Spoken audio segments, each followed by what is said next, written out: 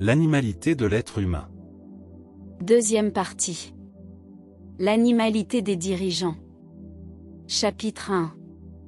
L'animalité des dirigeants des nations. Grand 4.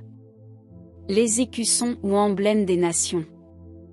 Chaque nation possède un écusson qui la représente, sur certains d'entre eux une image animale y est imprimée. Chacun de ces animaux symbolise à la fois l'esprit qui domine ce pays et le caractère distinctif de sa population. Il y a comme un pacte conscient ou inconscient entre les esprits de ces animaux et ces pays. Ces bêtes sont sous l'autorité de la bête d'Apocalypse, Apocalypse, chapitre 13, versets 1 à 8 qui est à la fois un léopard, un lion et un ours. Elle pousse les dirigeants du monde entier à adopter ces multiples images pour leurs nations respectives. Romains, chapitre 1, verset 23. Et ils ont changé la gloire de l'Élohim incorruptible en la ressemblance d'image de l'être humain corruptible, et des oiseaux, et des quadrupèdes, et des reptiles. Apocalypse 6, Apocalypse, chapitre 13, verset 15.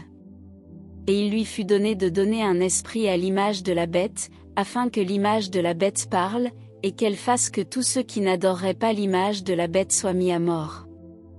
Voici les emblèmes de quelques nations. États-Unis, l'aigle. Russie, l'aigle à deux têtes et le cheval. Côte d'Ivoire, l'éléphant, le taureau et le cheval. Chine, le dragon. Australie, le kangourou.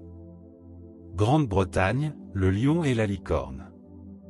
France, le coq.